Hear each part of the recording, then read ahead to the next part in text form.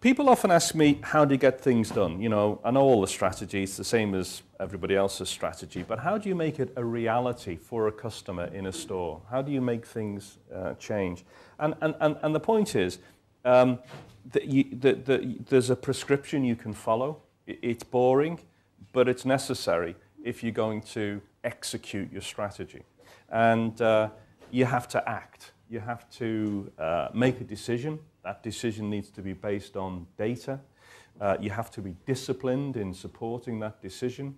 Uh, and then you have to write down a process, which is just a series of steps or actions that have to happen for that decision to become a reality. You have to be mindful that people are involved, so you have to define the roles that people must perform for that to happen. And if you want to, to replicate it and make it reliable, you have to write an IT system for it. So simple steps, data, decision, discipline, people, process, system. It's as boring as hell. But actually, that's the meat and drink of successful organizational performance. And whenever you see things go wrong, like the NHS's uh, computerized patient records or, or, whatever, and remember that went along to the scale of 16 billion pounds, um, uh, you, the answer is that they didn't follow that process.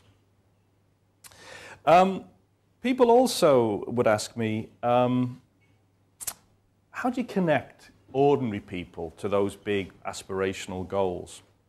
And uh, we found that the balanced scorecard, Kaplan and Norton's balanced scorecard, uh, was incredibly useful. We called it the steering wheel. We developed it for Tesco.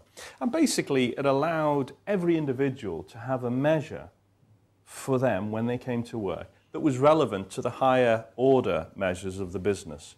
And you could adjust it. You could have measures for a store, an office, uh, uh, um, a function or the whole company. And they were all connected. So people knew exactly where they were. The skill is you have to be quite thoughtful about the measures. They need to be quite simple measures and ones that do actually distinguish between success and failure, things that really uh, move the business along. And then I talk a little bit about some other things that work in business, about simple. You know, life's more and more complicated. Tesco went from a food supermarket in the UK to be a retailer of goods online, offline, in many formats, from hypermarkets to little express stores in many countries uh, around the world. So it got very much more complicated.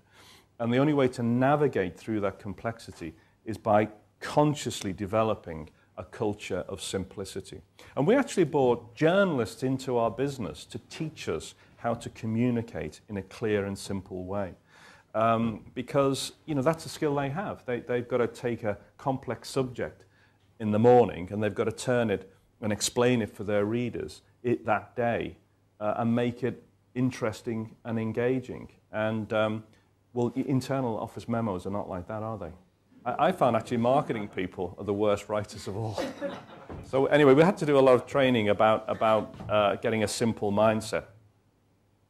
I'll just end with the, the, the, the last two because I know uh, we want to get on to conversation. Um, I, I, found competition is incredibly healthy for businesses uh, because competitors force you to do your best work. I mean, nobody likes competitors. They're trying to do you out of a job. They keep you awake at night and so on. But actually, they keep you honest.